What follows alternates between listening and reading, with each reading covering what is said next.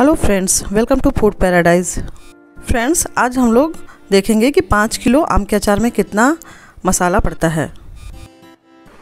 खड़े मसाले, धनिया, सौंफ, मेथी, काली मिर्च, राई, जीरा, मंगरेल, काली सरसों, पीली सरसों, हींग, कूटी मिर्च और कश्मीरी मिर्च। कुछ मसालों को ड्राई रोस्ट करेंगे। सबसे पहले धनिया को रोस्ट करेंगे। इसमें मेथी और जीरा डाल देंगे।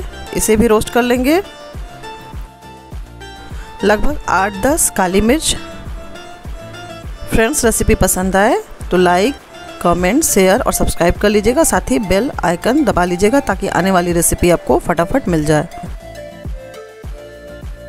एक कटोरी सौंफ डालना है तो आधा रोस्ट करेंगे और आधा कच्चा खड़ा ही डालेंगे।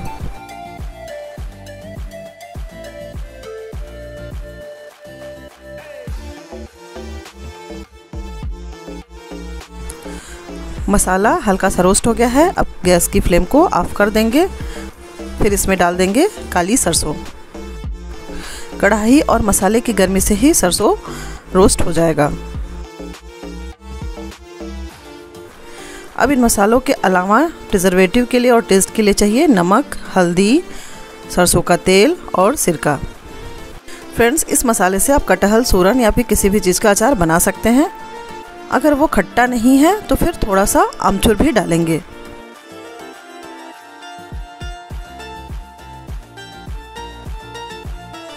पीली सरसों को हम कच्चा ही डालेंगे और दरदरा क्रश करके डालेंगे।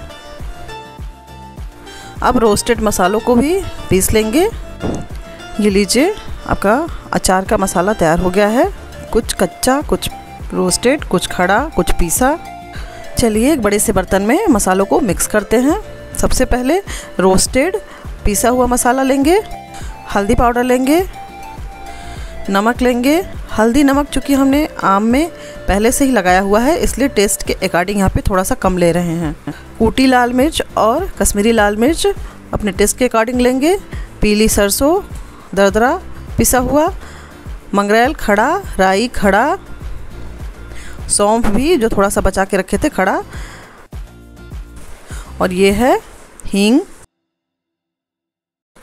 सभी मसालों को अच्छे से मिक्स कर लेंगे और ये आपका आम के अचार का मसाला तैयार हो गया। इसमें आप प्रिजर्वेटिव के लिए सरसों का तेल इस्तेमाल कर सकते हैं या फिर गन्ने का सिरका। पाँच किलो आम के अचार में लगभग एक किलो तेल लगेगा, पर पहले थोड़ा सा तेल लेंगे, उसे गर्म करके ठंडा कर लेंगे।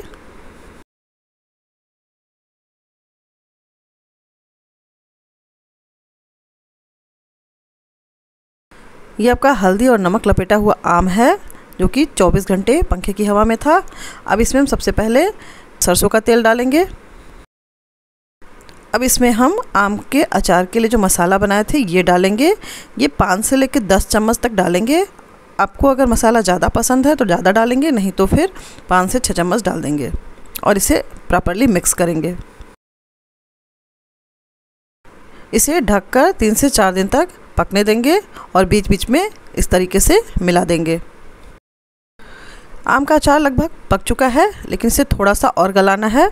अब इसे जार में रखकर तेल से भर देंगे या फिर गन्ने के सिरके से। ये अचार बनाकर आप साल भर तक खाइए, फिर मिलते हैं नेक्स्ट रेसिपी के साथ। Thank you